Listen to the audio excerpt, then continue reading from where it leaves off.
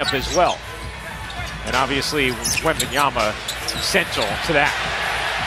There it is, the first points in the career of Victor Wembanyama. The momentous occasion right here. Victor Wembanyama, the three-pointer.